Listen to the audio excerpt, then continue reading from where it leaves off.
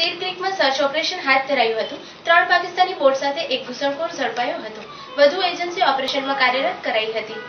ગઈકાલે સાંજથી કચ્છના ક્રીક એરિયામાં બોર્ડર સિક્યુરિટી ફોર્સ દ્વારા કરવામાં આવી રહેલા મેગા સર્ચ ઓપરેશનને ત્રીજી સફળતા મળી છે.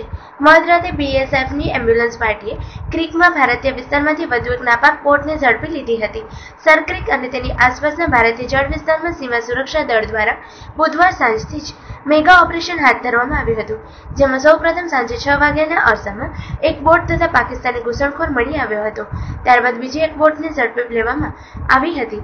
બે બોટને ઝડપી લીધા પછી બીએસએફના અનુભવી અધિકારીઓ પણ સ્થિતિને પામી ગયા હતા કે અહીં એક બે બોટ નહીં, પરંતુ નાપાક બોટનો કાફલો હોવો જોઈએ. આથી રાતે પણ સર્ચ ઓપરેશન ચાલુ રાખવાનો નિર્ણય કરવામાં આવ્યો હતો. અનુમાન પ્રમાણે, રાત્રે બે વાગે ક્રિકમાં પોતાની નાવ લેવા માટે જેવા પાકિસ્તાનીઓ ભારતીય વિસ્તારમાં પ્રવેશ કરવાનો પ્રયાસ કર્યો કે તરત જ ક્રિકમાં છુપાઈને બેઠેલા ભારતીય જવાનોને તેમને ઝડપી લેવાનો પ્રયાસ કર્યો હતો. જોકે નાપાક તત્વો તેમના પાકિસ્તાનની બોર્ડરથી સાવ નજીક હોવાના કારણે તેઓ બોટ મૂકીને સરકી જવામાં સફળ રહ્યા હતા. ત્યારબાદ બીએસએફ દ્વારા તેમની બોટને ઝડપી લેવામાં આવી હતી. અત્યાર સુધી કચ્છ બીએસએફના ઓપરેશનલ કમાન્ડર એવા સેક્ટર હેડ ક્વાર્ટરના ડેપ્યુટી આઈજી આઈ કે મહેતાની સીધી નિગરાની હેઠળ ચાલી રહેલા સર્ચ ઓપરેશનમાં ત્રણ બોટ અને એક શખ્સને ઝડપી લેવામાં આવ્યો છે. યુએવીથી પણ નજર રાખવામાં આવી રહી છે.